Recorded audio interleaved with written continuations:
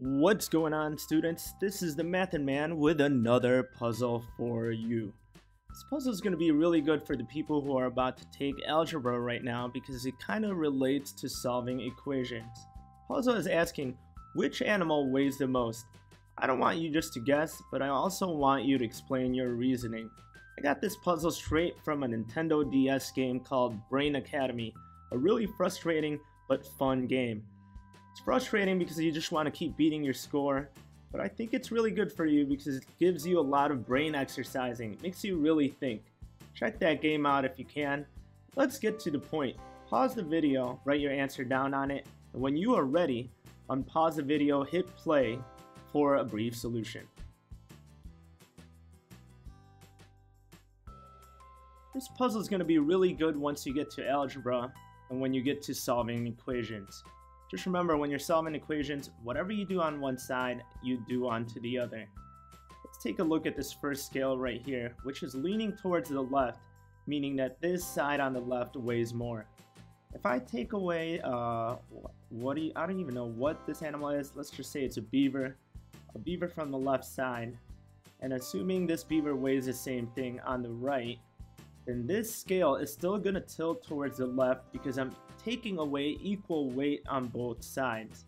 The same reason, if I take away a worm from the left and a worm from the right, I'll get this final statement here saying that the cat weighs more than the worm.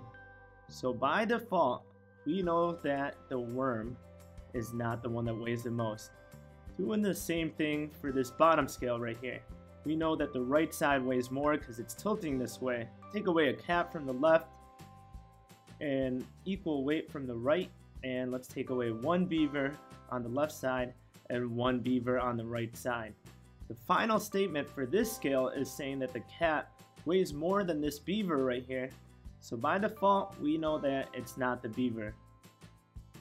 We can use the same strategy for this last scale. Let's take away a worm from the left a worm from the right. Uh, I don't even know what that is. It looks like an apple with a stem on it. Let's just say it's a, it's a beetle. Take away a beetle from the left and a beetle from the right. Using the same strategy, we know that the cat weighs more than the beetle because the scale is tilted towards the right side. So now we know that the cat is the one that weighs the most. If you like this video, throw me a thumbs up and subscribe to my channel for more math videos. I'm telling you, you guys should check out that game called Brain Academy for the Nintendo DS. Stay tuned for more math videos and I will see you guys on the next episode. Peace! I don't only do puzzles, but I also do mental math videos, so check out this video to the right. And I also math rap, so check out one of our raps by clicking on this video. Don't forget to throw me a subscription.